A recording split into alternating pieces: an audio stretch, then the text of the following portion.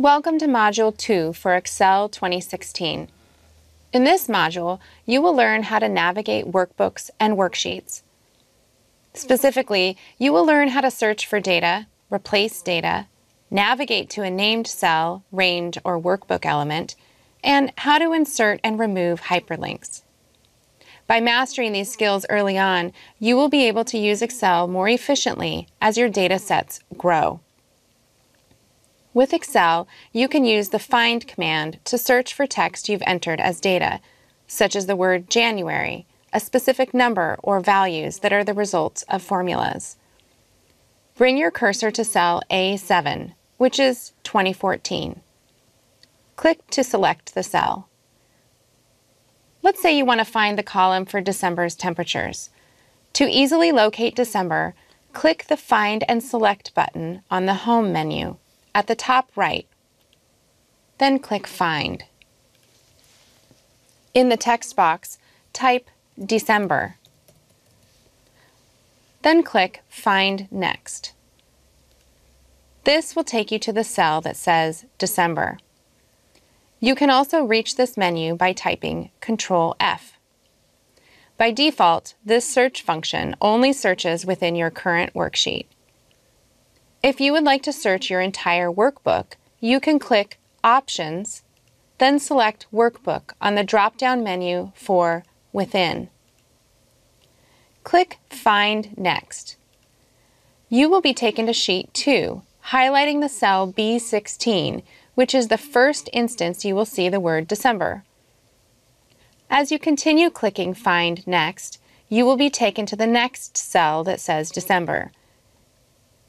You can also see all the locations for the word December at once.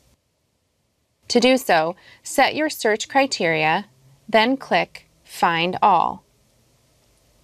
You will see a detailed description of all the locations the word December is located. By clicking on the description, you will be taken to the worksheet and cell that it is located in. The function for finding and for replacing text is located in the same dialog box. The replace command differs from find only in one way. It adds a text box for the contents you intend to insert in place of any matches Excel finds. This way, if you misspell a name throughout a workbook, you can correct it once and have that correction be reflected everywhere. Click on the Replace tab Let's replace December with the abbreviation DEC and choose Replace All.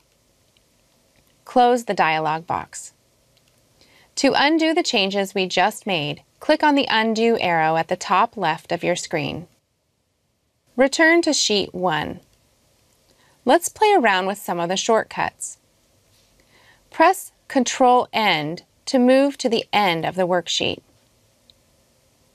Press Control Home to move to the beginning of the worksheet, cell A1.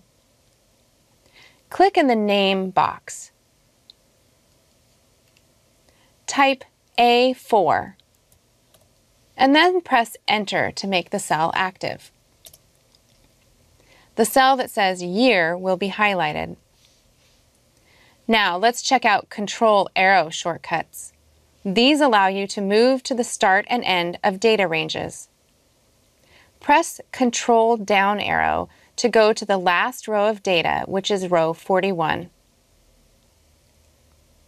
Press Control right arrow to go to the last column of data. You can also use the vertical and horizontal scroll bars to navigate from the beginning to the end of the data. Another way to navigate through worksheets is with Go To command. For this example, let's say you always want to come back to the temperature for March 2004. Click the cell D17, which highlights this temperature. To the left of the formula bar is the name box.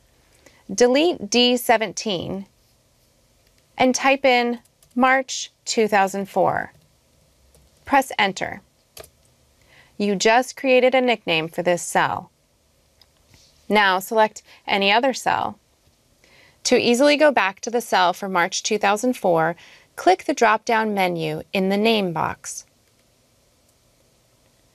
Click on the arrow and select March 2004 to be taken to the cell D17.